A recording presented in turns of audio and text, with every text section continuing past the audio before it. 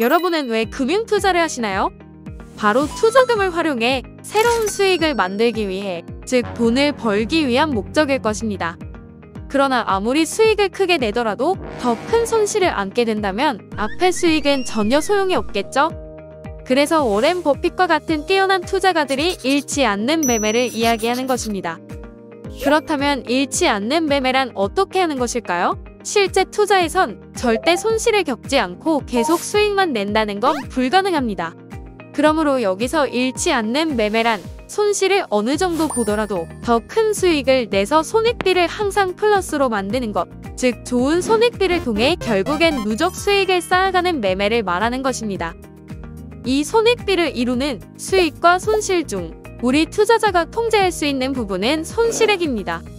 얼마나 더 높은 수익을 줄지는 시장이 결정하지만 손실을 얼마나 감당할지는 투자자가 결정하는 부분이기 때문입니다.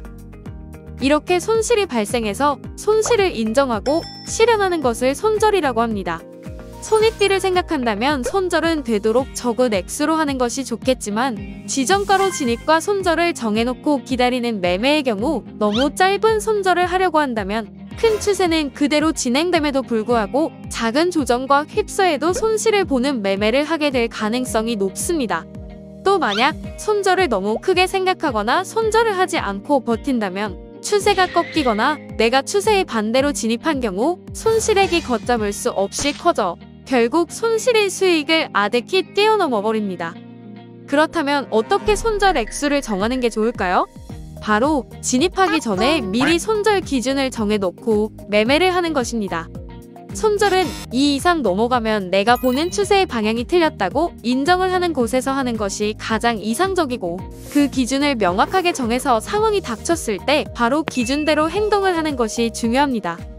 만약 손실이 겁이 나서 손절을 하지 않게 된다면 해당 손실액은 물론이고 다음 진입으로 가져올 수 있는 수익의 기회비용까지 잃게 되는 것이므로 눈에 보이는 것 이상의 손해를 보는 것이죠. 그래서 기준이 있는 손절이란 손실을 인정함으로써 이보 전진을 위한 전략적인 일보 후퇴라고 볼 수 있습니다. 기준에 따라 손절을 하고 더 큰 수익으로 전환하는 기법과 노하우를 배우고 싶으시다면 디테일한 매매 자료가 있는 골든서퍼 아카데미의 다른 영상들도 보시는 것을 추천해드립니다.